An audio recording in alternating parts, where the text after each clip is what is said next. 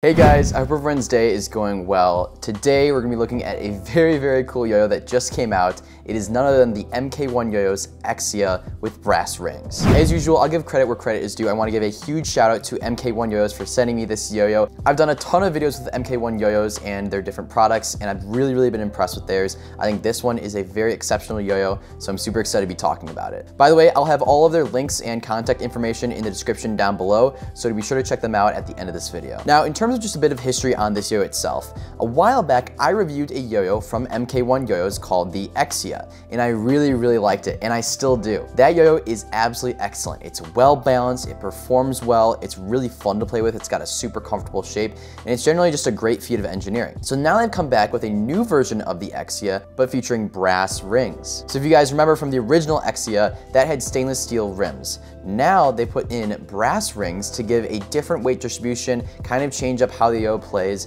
and I think it's a really smart decision. In terms of my experience of playing with yo-yos that are both aluminum and brass, I don't have too much experience. However, I did used to use the Yo-Yo Factory blade as my competition throw, which had those brass rings. And so I am super excited to be talking about this yo-yo and comparing it also to the MK1 Yo-Yo's Exia, which I'll be doing later in this video. So to give you guys a baseline idea as to what the brass ring MK1 Yo-Yo's Exia is all about, I'm gonna throw the specs of the yo-yo on the screen, and then I'm also going to show the specs of the original Exia, so you guys can just get a little bit of a comparison right there.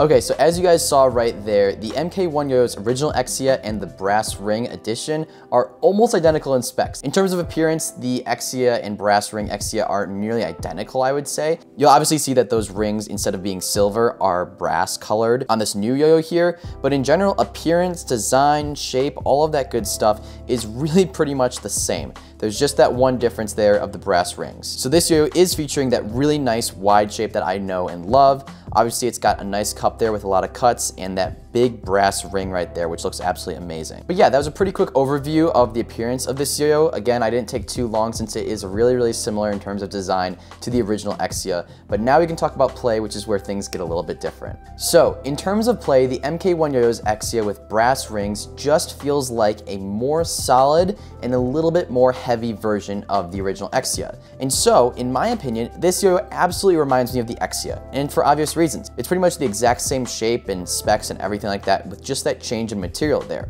I'll bring some context into the situation. Sometimes I've reviewed yo-yos that started out as just a monometal and then they made a bimetal, and frequently those yo-yos play very, very different. They don't really feel related.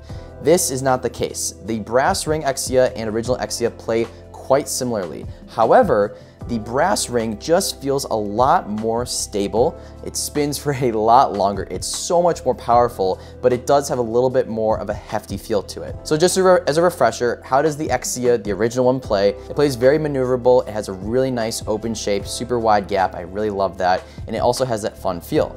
Well, in my opinion, the brass ring Exia has very similar attributes. However, it is slightly different in that one dimension, and that's just the kind of weighty and solid feel to it. So it still does play very, very fun. It still has an amazing weight distribution and feels very comfortable when it comes back to your hand. It obviously still is a very high performing yo-yo and, feels like a really nice competition throw, but it's almost as if they just increased the weight of those stainless steel rims immensely and made this just feel like an even more rim weighted yo-yo with a lot more power, a lot a lot more stability, but a little bit less maneuverability and agility. And so this is especially apparent on fast tricks. If you're doing a really, really fast trick with the original Exia, you'll notice, you know, you have no problem picking up his speed and changing direction. It feels uh, like a nimble, nimble yo-yo.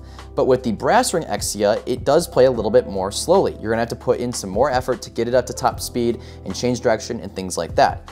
However, with that added kind of hefty feel to it, it also spins for way longer and has a much more reassuring feel on the string. And so I think what MK1 has kind of done here is they've made two options for two different types of players. If you prefer a very light and nimble yo-yo, the original Exia is probably going to be your best bet. It's not that the original Exia has bad weight distribution or doesn't spin for long, it still is a very, very long spinning and powerful yo-yo.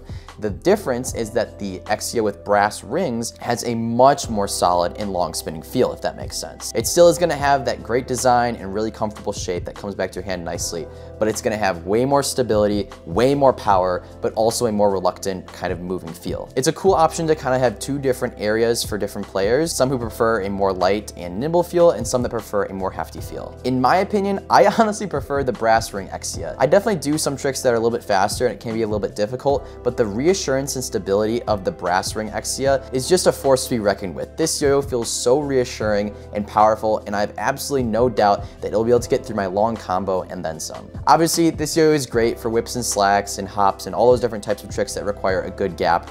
I absolutely love the shape of the Exia and have been a big fan for years. Okay, and that's about it for my review of the MK1 Yo-Yo's Brass Exia. I know this was a little bit shorter of a review, but in general, just in summary, it has a very similar, nearly identical design to the original Exia. It plays a lot more steady, stable, more powerful, more long spinning, but with a more reluctant feel. So if you prefer a more light and agile feel and don't need a ton and a ton of stability, then I think the Exia is a great option. But if you really value that incredible stability and rim weighted feel and don't play super fast, I think the brass option is an excellent choice. Once again, I wanna give a huge thank you to MK1 Yo-Yos for sending me this yo-yo. The Exia has been an absolute constant in my yo-yo collection. I've loved it so much and literally play with it every single week. And now that I kind of have a second and slightly different one, it really completes the package. I'm super excited to see what they put out next because I know it'll be a great yo-yo. Okay, and that's about it for my review of the MK1 Yo-Yo's Brass Exia. If you guys did enjoy, be sure to leave a like. Also, if you guys are new here and haven't seen my videos before, hit that subscribe button so you can see whenever I post a new video. I hope you guys all have a great rest of your day, I'll see you next time. Peace.